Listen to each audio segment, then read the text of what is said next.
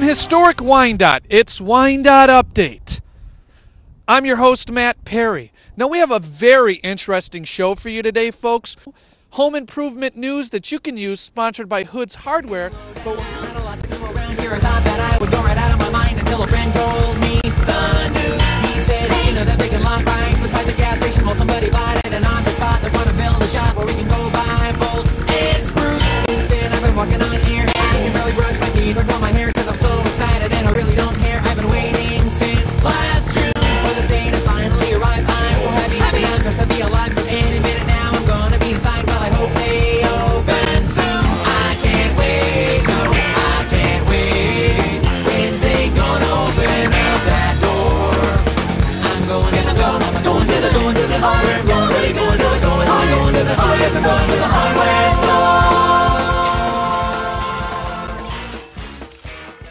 Hi, it's John from Hood's Hardware with some home improvement news you can use.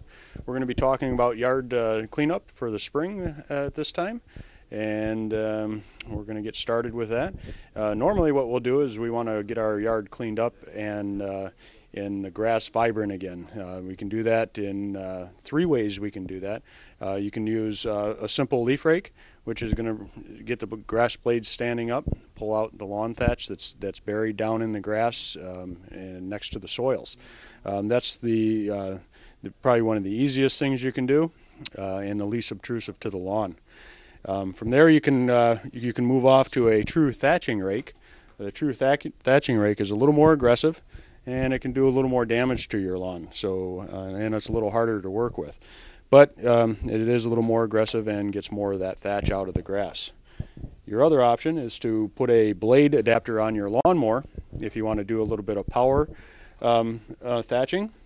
And that one you have to be real careful with because you can really do a lot of damage to your grass.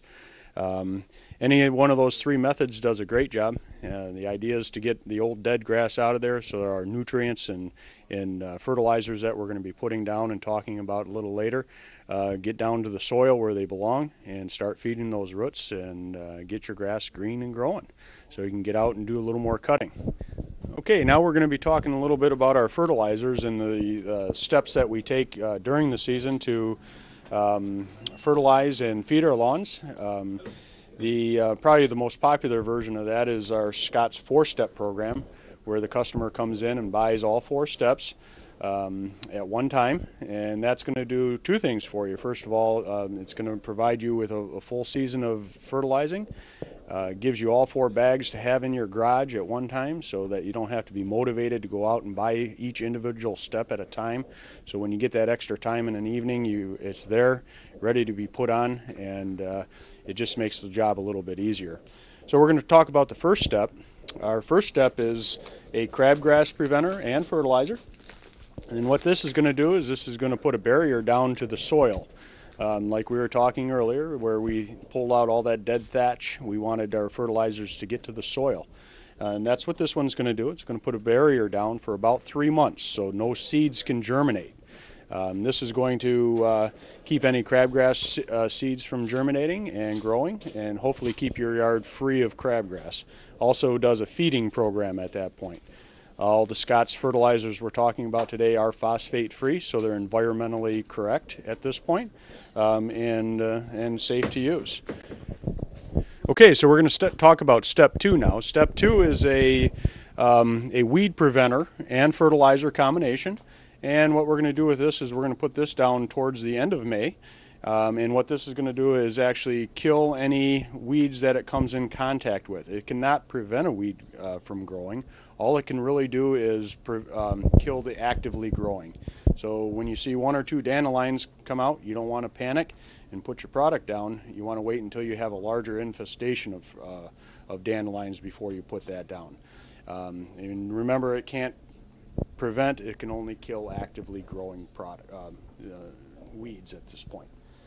From there, we move off to step three.